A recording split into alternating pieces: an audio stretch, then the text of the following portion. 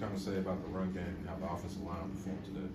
Uh, you know, I think coming in this game, we knew uh, Coach Dykes said it all. We we had to win up front, and I think that the O line did a crazy job. You know, it was just it was just unbelievable the holes that you know that was open today, and uh, you know uh, the running back room we capitalized off of. So yeah. You know, a lot of people make a lot about Sonny Dykes and Garrett Riley's offense being an air raid, pass it, throw the ball, you know, a lot offense. But it seems like the running game is really important to make this thing go. Do you agree with that? Oh yeah. Uh, most definitely. Uh, you know, uh, when you get the run game started, you know, you can open up.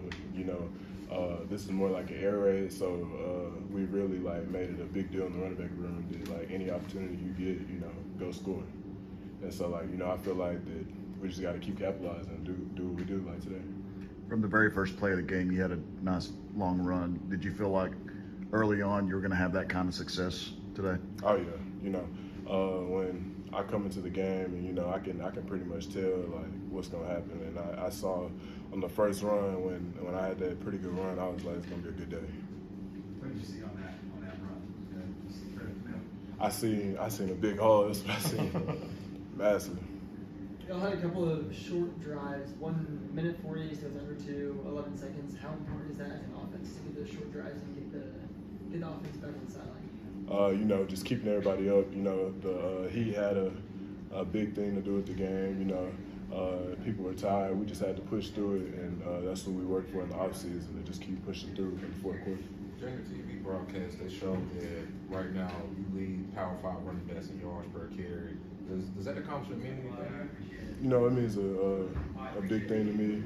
It just uh, shows me that I got to keep working harder too, because uh, you know it's pretty cool leading uh, the Power Five and you know yards per carry, but you know I got bigger goals. It just shows me that I can do more, and so every opportunity I get, you know, I try to make the most of it. You talked about the running back room with the game on the line. Amari breaks that long 63 yarder. How how proud of him were you uh, when he made that play? I was I was so proud because you know they uh, SMU they were getting momentum, and then when he broke it and, and I seen him and I mean it was just like a proud moment, you know because we, we talk about it and uh, you know we was just like we gotta uh, end the game, finish the game, and uh, when he broke it, it was just like it was like you know a proud moment. I just I just gave him a big hug. I was like, thank you. How, how satisfying is it to win this game, beat beat your rival at their? Uh, you know, it's one thing to win at home, but when you can go and play on the road and, and get a win, especially in a game like this, sold out, it's a big it's a big deal. And you know, uh, we all knew that they had you know a chip on their shoulder with the, the staff movement and stuff. So you know, we just had to keep our composure and our head and uh, just go out and play. How did you feel like you and your teammates handled this week? Coach Dyke returned to SMU with the crowd and atmosphere.